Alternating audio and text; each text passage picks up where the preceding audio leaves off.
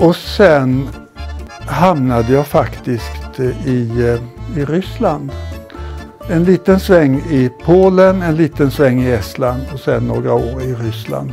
Eh, jag sitter ju här i köket och så eh, får jag ju hem mina, mina små kort.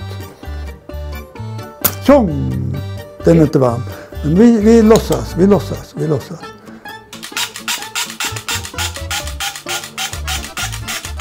Den finaste korsetten, nej den har jag inte kvar. Den har hon. Hustrun har ju den i USA.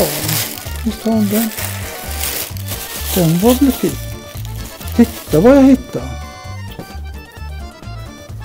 Jag var ett tag väldigt förtjust i de här kinesiska tygerna.